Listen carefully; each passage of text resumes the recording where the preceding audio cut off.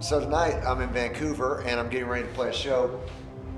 And I, I just decided for my video blog, you guys know that I'm not very good about typing in or anything like that, you know, all my thoughts and stuff like that. I'm just not very good at that kind of thing. But I thought about tonight, the, the thought went through my head why do I love playing the live show at Building 429? The answer to that question um, really is probably truth more than anything else. It's truth. Um, why do I love live shows? Uh, because it's 110% of everything that Building 429 has. I mean, everything that we've got. You know, nothing is left um, on the stage, if you know what I mean.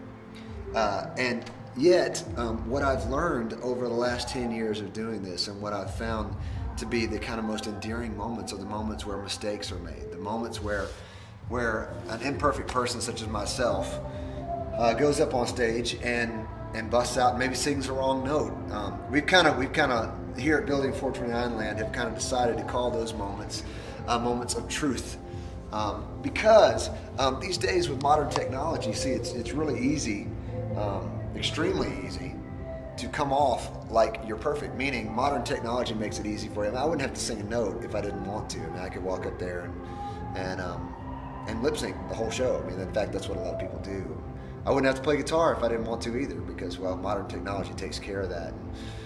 And um, and I guess um, it's funny that now, ten years later, I, I don't look at a show from a side of, you know, how how perfect I was. I mean, in fact, the moments that I tend to come off stage laughing about and enjoying the most are the moments where I either go for something and maybe miss it a little bit, or the moments where um, I make a huge mistake, you know, and, and still God moves through that. Um, and I think you know that's that's probably true even in the spiritual realm. You know, there's so many people out there that would say uh, I think if a person ever does say they've got it together and that their life is the way it should be and all that type of stuff, then you have you have to have major questions about that. In as much as you watch a band and they're note for note perfect and the lead singer doesn't ever sing a wrong note ever, and uh, then you have to kind of raise your eyebrows and go, hmm, something weird going on there. But I think that tonight tonight is show number I don't know 15 in Canada.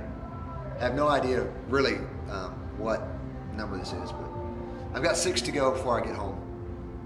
And um, I think the thing that gets me the most excited about this evening is the fact that a guy who is not perfect and who has sang a bunch of shows and maybe extremely tired is going to go on stage and throw his heart and soul out. And, uh, and he's not going to be perfect. I'm going to make mistakes. Those are our moments of truth. I'll look over at Jesse if I sing something wrong and I'll laugh and I'll wink at him and he'll go, Yeah, that's right. You didn't sing it perfect, but it was you.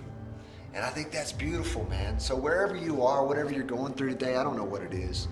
Um, the coolest part about being a believer is knowing that God can use you in spite of your brokenness and in spite of your imperfection.